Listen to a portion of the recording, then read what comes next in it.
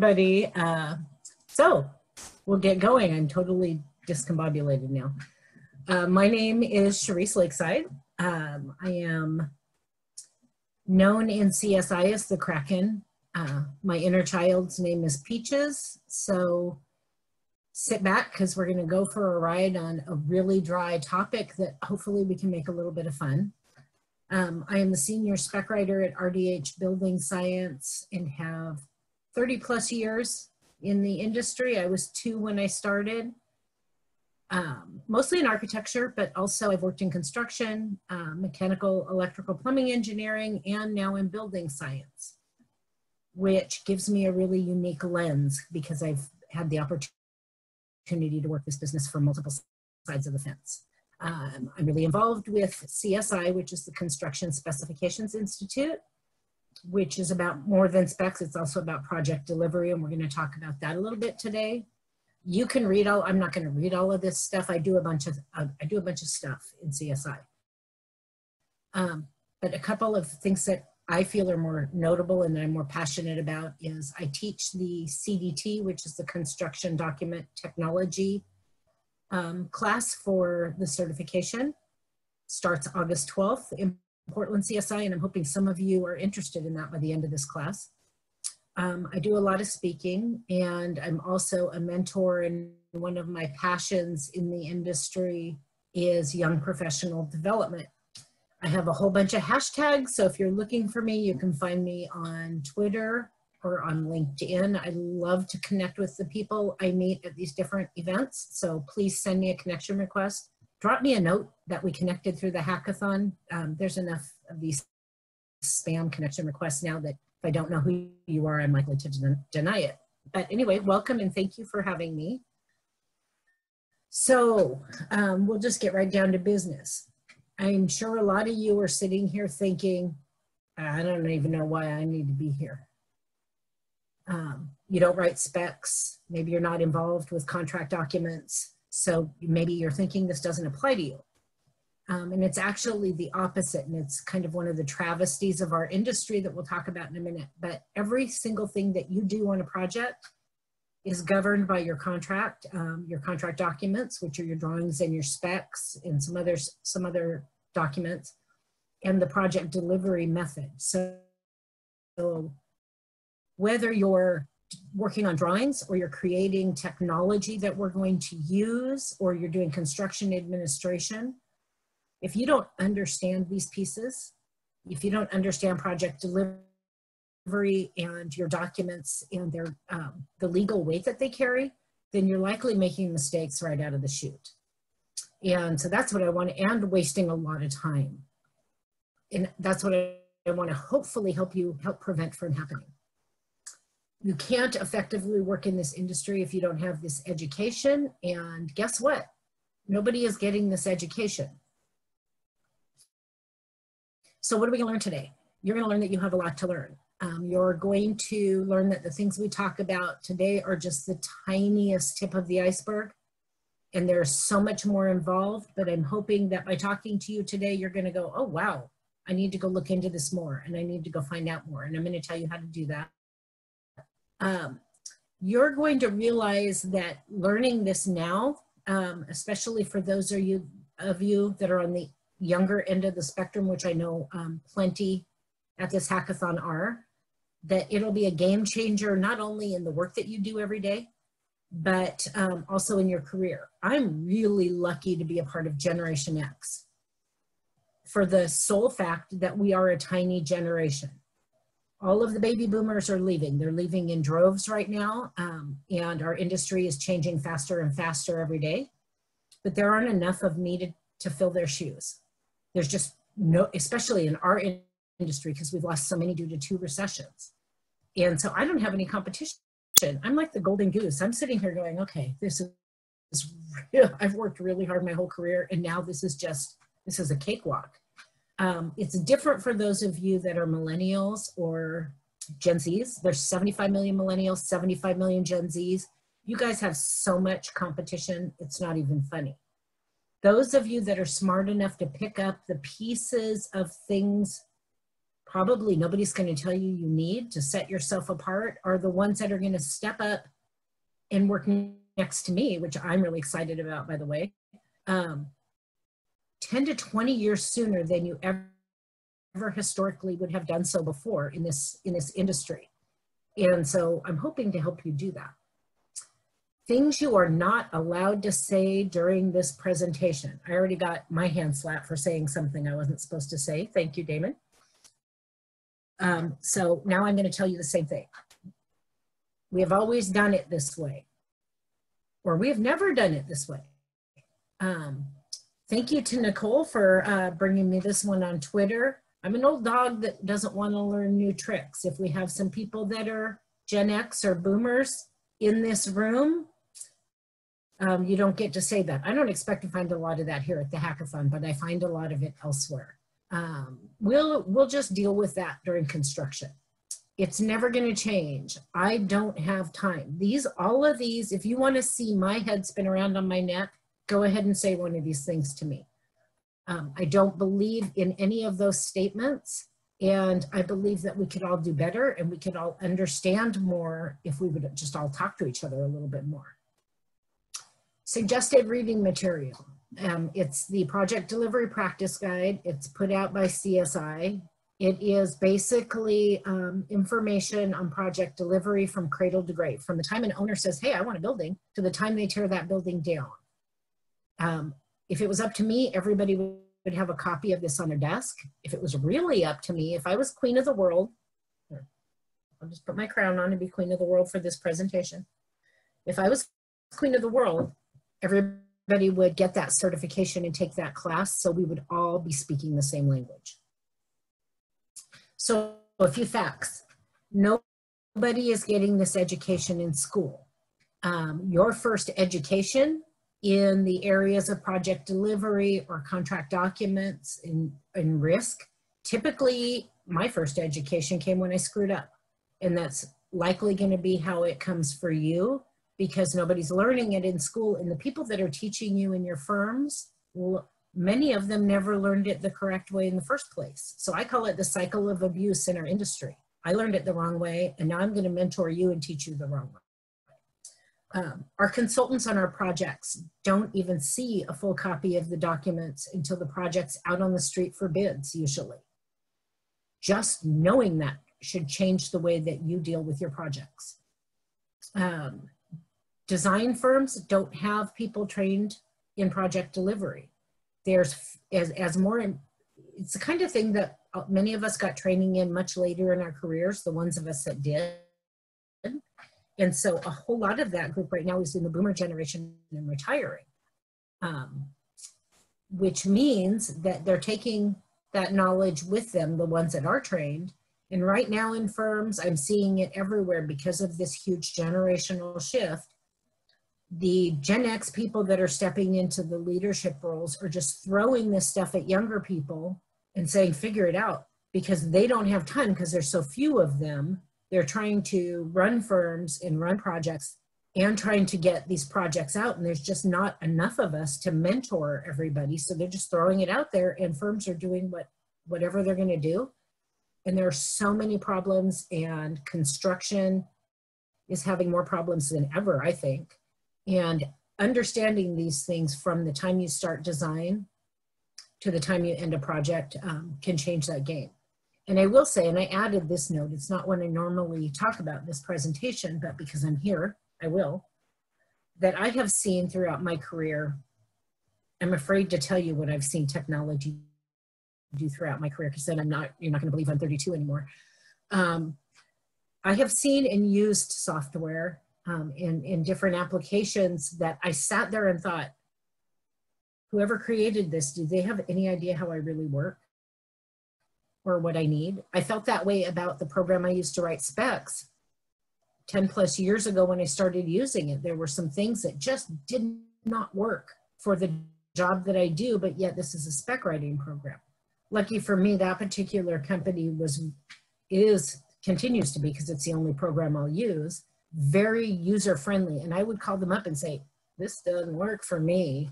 And they would fix it. So there's actually some things in that program now that are a direct result of my feedback, which is great because it, it, it works now in a way that I need it to work. But you have to understand that no matter what you're doing. I don't care what your job is in this industry. If you don't understand how a project comes down the pipe and how we have to communicate and who's allowed to do what contractually, then you're going to create things that don't work. So where are we learning? We're not. That's why I'm here. The first thing that you need to understand is one of the biggest causes of conflicts on projects and problems and time wasting is inadequate and poorly coordinated documents. The drawings and the specifications are the contract. And I, it blows my mind every day how many people don't understand that. They think the owner architect agreement or the owner contractor agreement is the contract, and it is. But it says in that contract that the drawings and the specs are also a part of the contract. So when you're working on a drawing, or if you are a, person who is working in specs, those are both contract documents. You can't just put whatever you want in those. As, nice as that would be, um, your contract documents are the instructions to the general contractor only. One of the things I see over and over again is manufacturer specs especially are some of the worst for this. Giving instructions in their specs for different people on the job site. The subcontractor's gonna do this and the installer's gonna do this. And you can't do that. It's, it's not contractually not allowed in, in our industry. The design professionals cannot dictate means and methods to the contractor. Excuse me. And so there, there's all these things that people say in their documents, whether it's on their drawings or their specs, that don't even need to be said. It is the instructions to the contractor. The specifications are supposed to show what we call the qualitative requirements, the products, all the accessories for the products, the finishes, all the information about the products, the installation requirements, and any administrative requirements that are specific to that area of work. Um, the drawings are supposed to show the quantitative requirements and the spatial relationships and how many of what goes where. More often than not, you see information that belongs in the specs repeated on the drawings, which is a disaster waiting to happen because the minute somebody changes the drawing, and even and if you're if you're lucky enough to even have a spec writer, because that's like finding a needle in the haystack these days, you invariably, especially at deadline time when everything's going hot and heavy, you forget to tell your spec writer, and now you say one thing on the drawings and one in specs. There's a reason that you say it once and say it in the right place. So that the con number one, the contractor is forced to read all their documents. If they have just enough information on the drawings to think they know what you need, they're not gonna look at their specs and they're gonna make a mistake and then you're gonna have a change order. Um, those are all bad things. So if you put the right information in the right place, they have to read everything and you only say it once so you eliminate that risk of duplications or leaving something out. Back in, and I'm only going to stop on this for a second, but back in 19, I think it was 73, it's on there somewhere. Yeah, 1973, the AIA did um, a list of the top five areas of risk for a design practice, failure to supervise inexperienced employees, big issue right now with the huge generational shift, um, inadequate project coordination in-house coordination, failure to communicate between the prime and the consultants, lack of quality control and poorly worded contract documents. Fast forward to 2020. We have the top, same top five areas of risk. What does that tell you? I know none of you can answer me because you're all muted, so I'll tell you what it tells you. It tells you that we're not changing. We're not getting better. We're not improving the way that we do things. Um, and, and I don't I don't care whether you're talking about actually physically hand drawing or doing it, you know, doing your drawings in Revit or whatever we have not changed because we still have the same problems, which means we have to change our processes. We have to look at this and make changes. The more educated we get everybody, because for whatever reason, they don't think they need to teach this to anybody in college, um, the more we can actually start that change. Because this should have happened. I should not be talking about the same problems 30 years later. that I was talking about when I started my career. Contractor is protected by the Spearin Doctrine, decided by the US Supreme Court in 1918, that basically says the contractor has a right to get documents that are sufficient for what they're meant to be used for. And they're not responsible for a design professional's mistakes, which means they're off the hook if we don't do it right, yet we don't do it right. Um, I would say a majority of the time. There's no such thing as a perfect project, but we don't even come close on most projects that I see. The contract is, um, first thing to understand is what's called the tripartite relationship.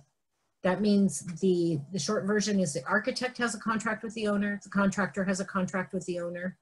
The architect and the contractor do not have a contract with each other, but they have third party obligations with each other, which means that their contracts with the owner say they're going to do things for each other, even though they don't have a binding contract between them, which creates a, a pretty in, interesting environment sometimes on a job because architect says in their documents, in their specs or in their drawings, we want the contractor to do all these things. And the contractor's over here going, I don't have a contract with you and I don't want to do all of those things.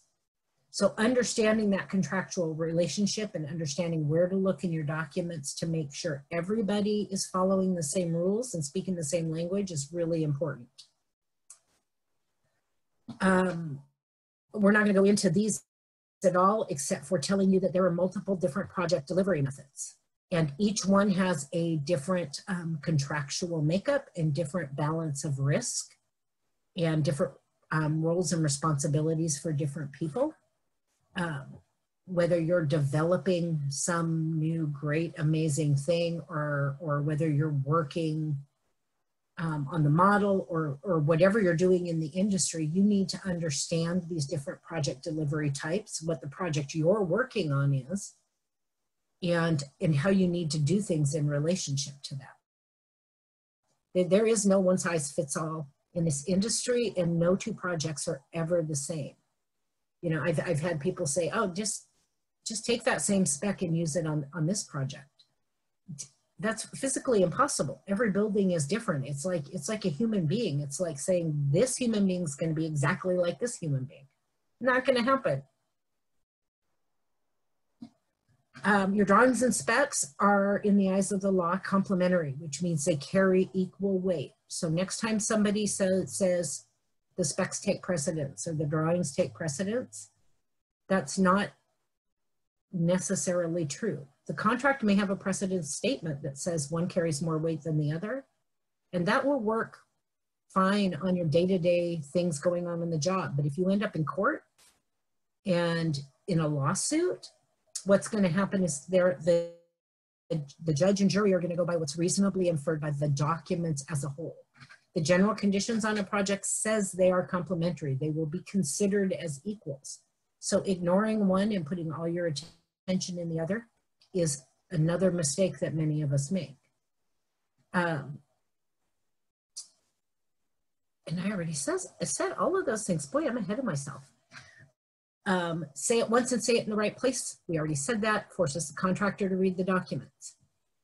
Areas that I'm not going to read these. I put all of this stuff on these slides so you have it to refer back to later. I'm just going to pick out a couple key areas. There are a ton of different areas in every project administratively and technically that need to be coordinated. The, the next couple of slides are just a few of those. But there's knowing that these things even exist in your specs will change the way that you work. Things like submittal procedures, that one's a huge one. I don't know if I know of a bigger area of conflict and time wasted than submittals during construction it's actually outlined in your specs exactly how that's supposed to go down.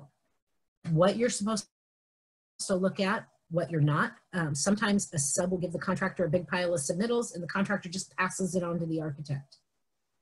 We get it on the architectural side and we're going through all this crap we didn't even ask for.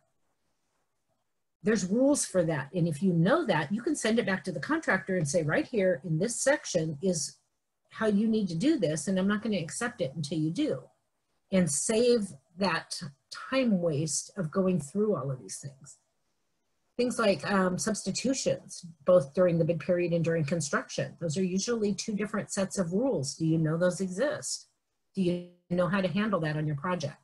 Um, QA and QC procedures are a big one. There's a whole ton of areas you need to coordinate. One of my favorites is access panels. It seems like, I don't care how long we've been doing this, we cannot seem to get access panels right.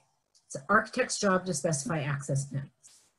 But MEP often needs access. I learned this when I went to the other side of the fence and, and learned I was doing things wrong with my consultants the whole time once I went to work for a consultant.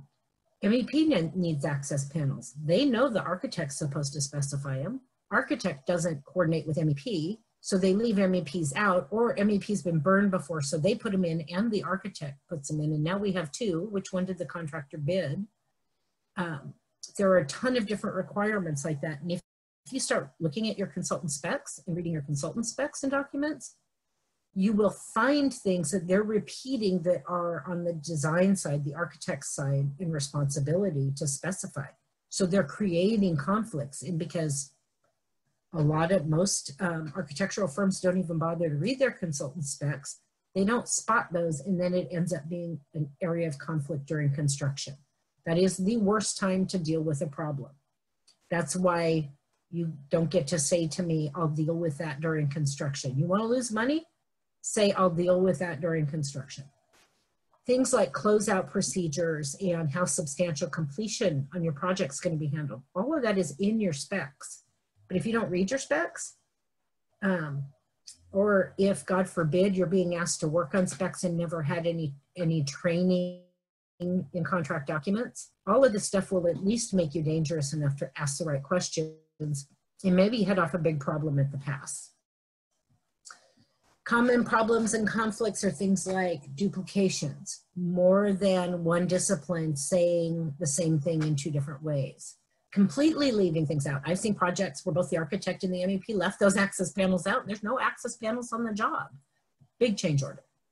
Um, lack of division one knowledge. That's red because I cannot tell you how many times I've been teaching for eight years, the CDT, and I can't tell you how many times I've had somebody sit down in one of my classes, hundreds of people, and say, What's Division One? Those are the rules of the road for your project. You need to be reading your documents so you know what to expect. Excuse me. Um, the owner's role in a project. You need to understand that so that the, owner doesn't start dictating things they're not contractually allowed to dictate on your project or on your design um, just basic terminology, things you can and can't say on documents, things you should and should not say on drawings.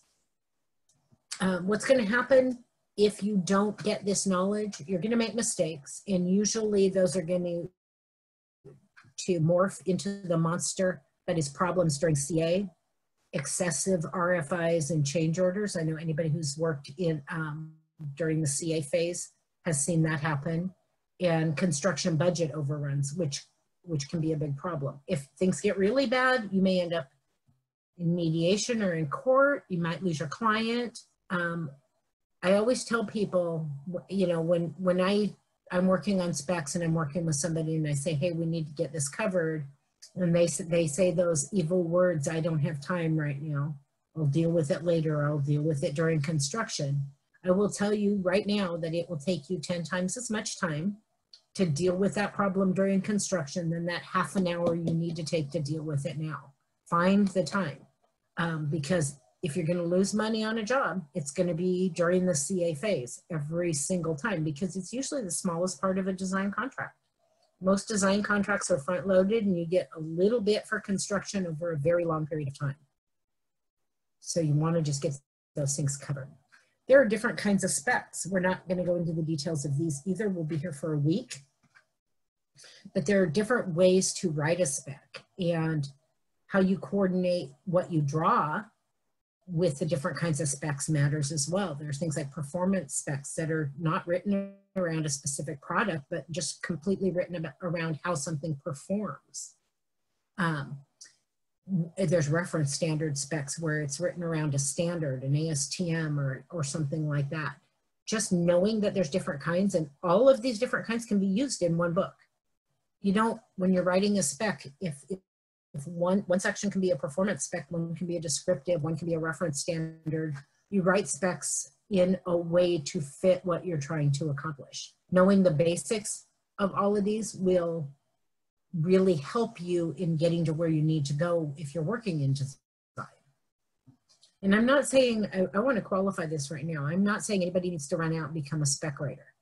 You can do really a something like the CDT and be dangerous enough to protect yourself in most situations. You don't have to go and do these this years of training. If you want to become a spec writer, they're sorely re- needed right now. So they're it's a hot commodity if you're interested in that. Uh, your specs are organized using what's called CSI's master format. It's the numbering system. When you see that six digit number on a spec section, this is where it comes from.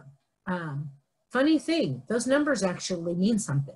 They're not just, I, I've seen somebody in a design firm trying to write a spec and just slap some number on it that looks good to them. They're organized those the numbering system is, is organized to keep all of the same type of work together. It's organized by work results. So you can't just slap any number you want on a spec section and call it good. There's different groups and subgroups and divisions so that, for instance, division three is in the facility construction subgroup. So that's basically all the architectural sections. And division three is gonna be all the stuff to do with concrete. Division eight is gonna be all the stuff to do with openings, windows, doors, things like that. Those numbers that are assigned to those sections are so all of that type of work is in one place.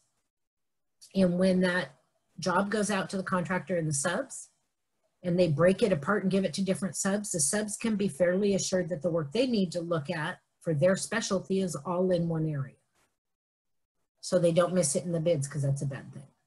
Those numbers, as they get bigger in the second and third two sets of digits, means the scope of the work gets more narrow.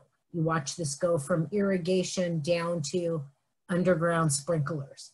So when you see those last two sets of numbers getting bigger, you know it's a narrower scope of a, a section. All of this, there's obviously a lot more to teach you, but they gave me an hour.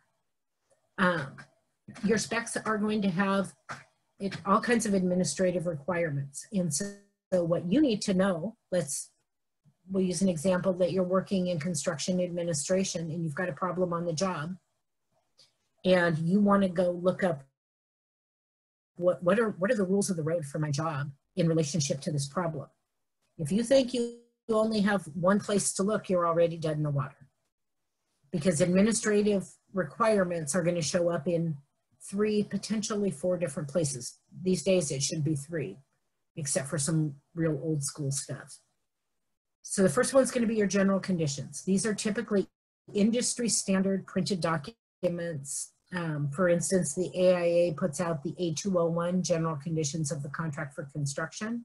Um, that's one of the most widely used. They're broadly, um, broadly written administrative requirements that can be slapped onto any job and have been vetted by the courts. Those are usually modified somewhat for every individual job. And in the old days, they called that a supplementary conditions, but now obviously with new, technology, they just modify it. It's, it's a track change copy. If you, you have to change some things, it, like some states don't allow arbitration as a method of dealing with a problem on a project, but the general conditions has an arbitration clause. So you would cross that out. But then there's division one. Division one in your specs is the rules of the road for this project, this project you're working on. So you have your general conditions, it's broad requirements that you can put on any job. Division one are the rules of the road for this project. It's gonna cover things like submittals and project meetings and project closeout and project cleanup and what kind of job shack contractor has to have, all of those kinds of things. But then you have part one of your individual spec section, which would be, in keeping in mind, Division One applies to the entire project. So they're broad to your project, this specific project. Then part one of your spec section is going to be administrative requirements that are special and particular to that spec section's area of work. So to hopefully make that a little bit easier to understand, a real quick example, that's just a diagram that you can look at later. Your general conditions has some very broad warranty requirements. Contractor's gonna provide warranties is basically what this paragraph says, but it doesn't give specifics of those warranties. Down here you see an underline that says the track change copy, what would have been called the supplementary conditions in the old days, that they added a little language to that. That's broad, it applies to the whole project, but it's not specific enough. Like, okay, they're gonna provide warranties, but how long do these warranties need to be for? Division one is gonna give you more specific requirements about the warranties, but this still applies to every single thing on the job. So it might say every warranty on this job needs to be at least two years and have some other requirements, but it can still, it still applies broadly to the project. Then you're gonna have part one of your spec section. In the, this case, it's, um, I used a roofing section as an example. And this says provide a 25 year, I can't see it, 25 year wraparound warranty on the roofing system. You're not gonna repeat what division one says and say provide two year warranty. This is only gonna be for part, in part one of a spec section, it's gonna be specific just to that section. And that will be considered in addition to whatever was required in Division One for the whole project. So if you've got a problem on a job and you're trying to figure out how you have to deal with it, you potentially have to look in three different places to get your contractual answer. And I'm not even going into the fact that things like change orders and some other things are um, also contract documents and you may have to look there as well. So you, you didn't know you were getting an anatomy lesson today, did you? Spec sections have three parts. Um, they use six digit numbers. They could be even a eight digit number, a point and two numbers after that if it's a really narrow scope. Um, the three parts of every spec section should be general products and execution. Those actual words, there's actually um, a format called section format that will outline exactly what is how a spec section is supposed to be laid out and what belongs in each part of it. We're just going to touch on a little bit of that today. Part one is the administrative requirements that are specific to that section. I probably can't say that enough times. Division one governs the whole project. So we're not going to repeat that stuff, but you have special requirements. Things like what work is included in this section? what submittals are required. Now, Division One says you're going to provide a PDF of submittal of the product data on everything in this job. So this section would not need to say provide a PDF of the product data. But maybe one of your submittals is you want samples of that carpet, say carpet. Then you would put that here because it's not going to say that in Division One because you don't want samples on it on everything, you're going to be building another building just out of samples. So everything is specific to this section, any coordination or meeting requirements, reference standards that have to be met. One thing that I think is kind of fun is testing. Um, testing could belong in part one, part two, or part three of a spec section, depending on where, when, why, and how it's, it's happening. So quality assurance or, and, or any testing prior to construction would be in part one. Warranty, additional warranty requirements beyond the division one requirements would be in part one. Part two is gonna be anything to do with the product, the accessories, the type of product, the finishes, um, any testing that has to happen at the factory or during manufacture, there's the testing that could appear in part two. The reason it's important to understand this is because testing can be a very expensive item. And if you have it in the wrong part of the specs and the contractor misses it, back to the Spearin doctrine. Contractor's not on the hook for your mistakes. So then your owner has a huge change order that may affect the budget you thought you had for the project. Um, how you're dealing with non-conforming products, uh, manufacturer services with the products might all be in part two. Part three is gonna be all of the execution requirements. And the reason this is called execution and not installation is because it's more than just installation requirements. The installation requirements are going to be there. There's to also be site quality control, any testing that has to happen during construction, um, cleaning requirements, any closeout activities, protecting any protection and maintenance of the products on the site is going to be a part of that. And again, non-conforming work and manufacturer services during construction. That all belongs in part three. Every single day, um, especially in manufacturer specs, if there's any manufacturers online, I'm sorry, but the truth is the truth. Um, I get specs with things in the wrong place. If you go and just cut and paste that into your specs, you might be creating a problem that you just by nature of having never having anybody told you this, you don't even know you're creating until it becomes an issue later. Just as a quick aside, um, one of the things I should have put on that what you don't get to say today slide is one thing that I hear often uh, is, oh, it's just a little job. We don't have to mess with all of that. I don't need a full spec or I don't need a full set of documents. Or we'll just put some spec language on the drawings and call it good because it's just a little job.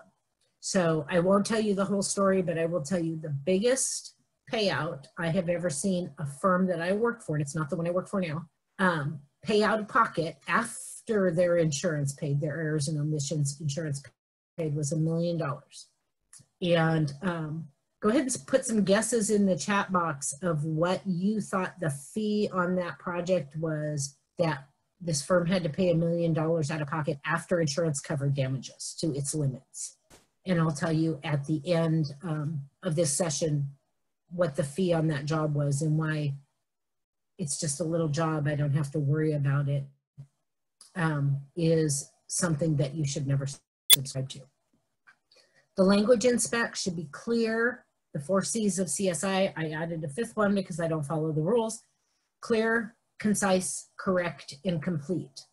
And I added coordinated because that is a piece where we, we fall down all the time. At, at my last office, and I'm starting it at this office now, I worked with um, all of our drafters and sat down and we worked out a system so that we were all using the same language. The language they were using on their drawings was completely different when we started than what I was using in the specs. I was like, how does the contractor even know what the hell they're looking for or, or what's right? Um, you know, there's, I call it construction slang, you know, using a short term for something like GYP. Well, I've got five types of GYP board in my spec, and we've got the term GYP on the drawings. So which GYP is the contractor putting in that spot? Those kinds of things are big coordination issues on a project. I'm afraid to, oh, I'm not doing too bad on time. Um, writing style. You, you'll all be happy to know I took 30 slides out of this today. So you don't, this, this torture is not gonna go on for too long. Um, sentences should be simple. You should use the imperative mood where the verb defines the action when you're writing contract documents. If you see the word shall all over the place, that's the passive voice. We don't use that in you shouldn't use that in specifications. Every once in a blue moon, you got to use the word. Um, but I call shall the F-bomb of spec writing.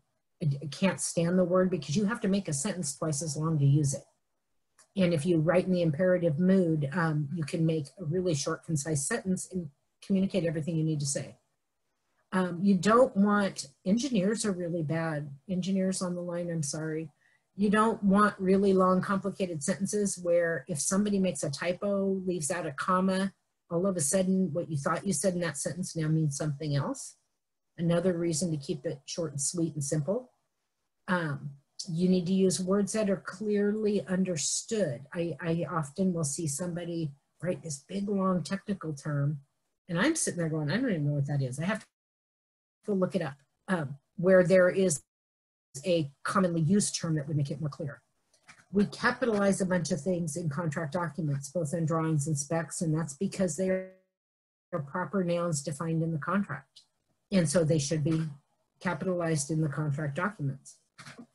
You can streamline your language using modifiers or a colon. I love the colon. Colon is my best friend. Pipe colon install. I just told you in two words to install all the pipe. It's really beautiful. It, it's like it's like a challenge for me. How short can I make a sentence and still make it understood? Abbreviations, those are fine on drawings. They're not okay in specifications. We spell things out. Again, there's a lot of different ways that people look at our documents on the job site and two inches is not hard. I mean, that's easy to understand, but two with a little inch mark on a dirty set of drawings and maybe somebody just installed two feet of something. You know, you want to hope that's not going to happen, but there's a reason we spell these things out to be clear. And these are just a few examples here of how it should be written in specifications. Things you should never say in your documents. As indicated, I love that one because I have seen that in specs and draw, and, especially on drawings all over the place. And I'm going to show you something in a few more slides to outline exactly why you don't want to use terms like that. But that is, that is a red flag. That is a red, red flag that somebody was in a hurry. They just said, you know, do this as indicated because they're pretty sure it's indicated somewhere else or as indicated in the specifications, but they don't say exactly where. But they don't go check to make sure it's actually indicated there. I've actually seen change orders, large ones paid out from using that terminology. It is a red flag that you're being lazy and not coordinating your documents. If you just don't let yourself use those terms, then you're not likely to make that mistake. Language like herein before and herewith, we're not writing the Bible, we're trying to get a building up. So that should be avoided. Words like all, that one, I, I, I can't tell you how many times I've deleted the word all, thousands of times, thousands. You don't need to say install all pipe. If you say install pipe, it is assumed contractually that that means all the pipe. Um, there's all these extra words people like to use in a workmanlike manner. What does that mean? What I think is a workmanlike manner and what you think is a workmanlike manner is two different things. And it's subjective, so you don't want any subjective language. This is one of my favorites, and I'm probably gonna make somebody mad, but to the satisfaction of the architect. Every time somebody sees that, they laugh and it's like, the architect's never satisfied. I'm never gonna win here. Um, again, it's subjective language. Uh, you wanna minimize or avoid using pronouns, words like which also. It's just all unnecessary language. Some more vocabulary things that, that you should know, and, and this applies to drawings as well as specs. You use the word amount when you're talking about money, but you use the word quantity when you're talking about things like measurements or volumes, things like that. Um, the word either implies a choice, but both is all inclusive. Flammable and inflammable mean the same thing. You'd be surprised how many people don't know that. But the, the, the red is the big one because this is a mistake. You know, a lot of times what I see is people put install whatever, install air conditioning units. Okay, all you've told the contractor to do is to put in the air, air conditioning unit. You have not told them to buy an air conditioning unit. Um, if you say furnish an air conditioning unit, all you've told them to do is buy an air conditioning unit. Now it's sitting there with nobody to install it the contractually correct word is provide. That's commonly accepted as that means to furnish and install that air conditioning unit. So just get in the habit of using the word provide and then you don't have to worry about it. Sometimes you should use furnish or install because sometimes the owner provides a piece of equipment where you only want the contractor to install that. Means and methods, we brought this up for a minute before or um, the design professional's contract with the owner states and the general conditions states that the design professional has absolutely zero control or responsibility for means and methods during construction. What that means is when the contractor signs that contract, it's their show. Design professional will come out and observe. They observe, they don't inspect except at final completion. They observe the work for just general conformance with the contract documents, but it is the contractor's job to build it, decide who's going to do what, whether they're going to self-perform some work or use subs for the work. Design professional has no control over that. So you never want to say anything on your drawings or in your specs telling the contractor what to do. You can tell them what you want, You can tell them that your enclosure layers all need to be in this order, but you cannot tell them how to do that work. And it can be shades of gray sometimes and, and difficult to define that, but knowing that you can't dictate that will keep you out of trouble. Because if you do dictate it and they do it your way and it fails, guess who just took the risk on? Not the contractor, you did, because you told them to do it. You're not supposed to do that. You don't, a couple that we're almost done. Huh? Um, couple things you don't do in your contract documents. You don't dictate safety requirements on the job site. Again, that falls under the contractor's risk umbrella. So you wanna make sure that doesn't happen. You don't put documents in your specifications that were not your responsibility to prepare under your contract. Those, is, those are gonna be things like uh, geotech reports, hazardous materials reports, um, things that are were prepared by for this project. The contractor needs to see them, but they were prepared by somebody else for the owner. People will tell you, I, I see it happen all the time. They'll, they'll come up to you and say, just put this in the specs.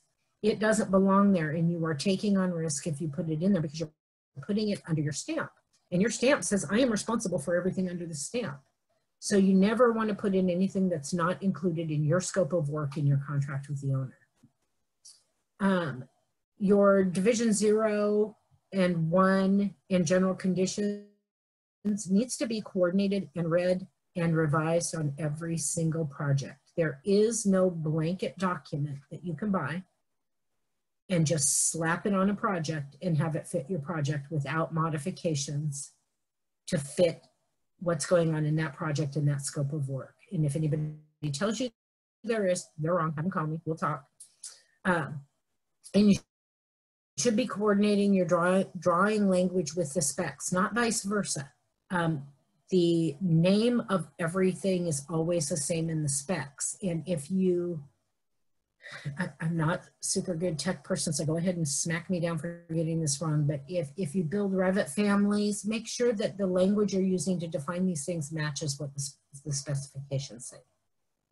So there's this lovely little book. It's called The Contractor's Guide to Change Orders. And going back, I'm not going to go back to it, but going back for a minute to that slide where I said you don't want to say things like as indicated. Um, even if you're going to point to exactly where it's indicated, because then that, that spot could change and that's a different area of risk.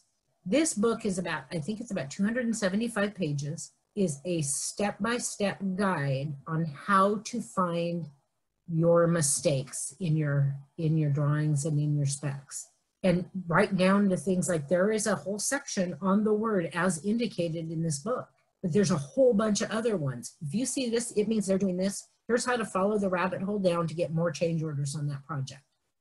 Now, we would like to believe that every contractor is amazing and good to work with and reasonable, and a lot of them are, but there are also a lot that are not. And so knowing these things exist and getting your documents right just right out of the chute instead of pushing things down the road um, gives you a much better opportunity of not having to deal with things like that. Because this is an evil book. There is a whole paragraph in here. I can't remember the page, but um, it, the paragraph is titled Catch, Catch 22. And it is an entire paragraph advising the contractor on how to act stupid until the design professional just get so incredibly frustrated that they just give up and give you your way. And it reads just like that. That's usually the first paragraph I show people in my class. This is a scary book. And knowing that people are being guided to your mistakes should, care, should scare anybody.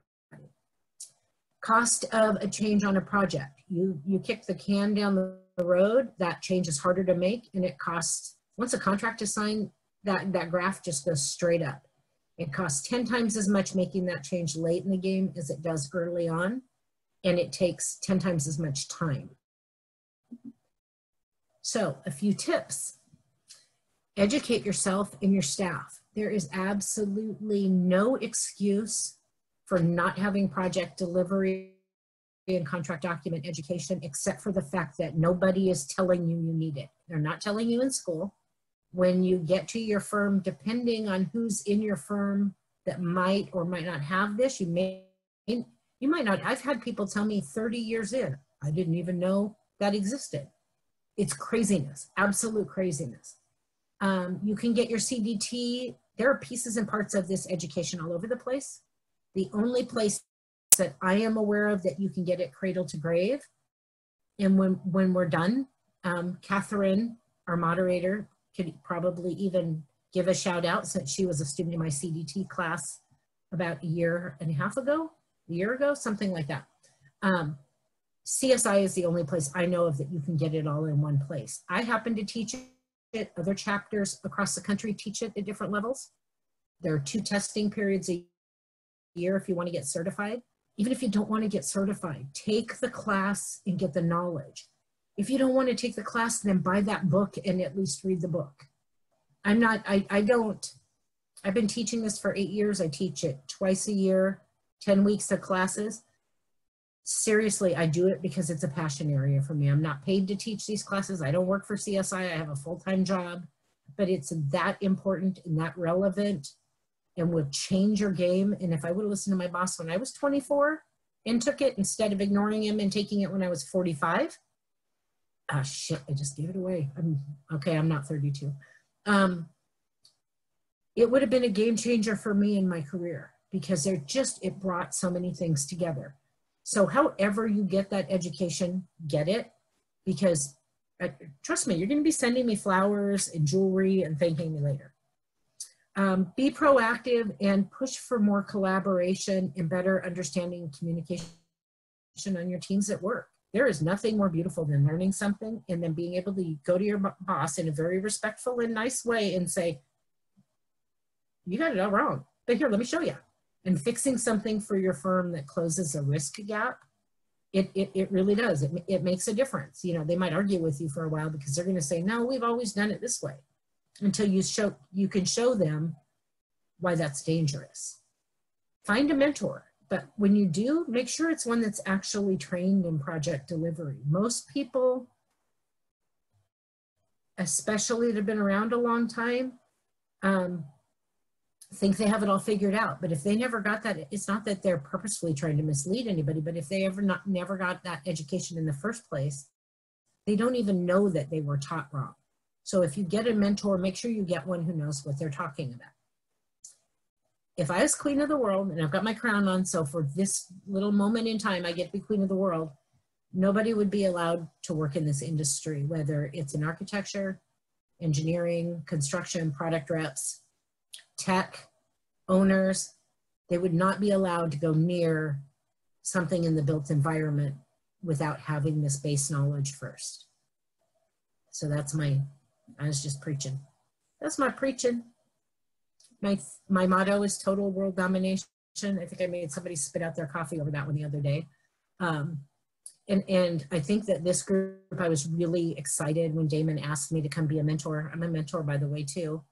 Um, because I love what I've been watching. I've been trying to make it to a hackathon for a long time now, and this is the first time I've been able to do it. I love what you guys are doing. It's I'm excited about it. I plan to stay involved until Damon kicks me out. Um, and so please reach out to me on the Slack channel.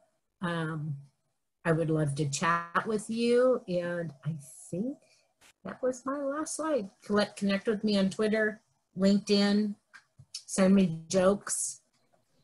Catherine, it's all yours.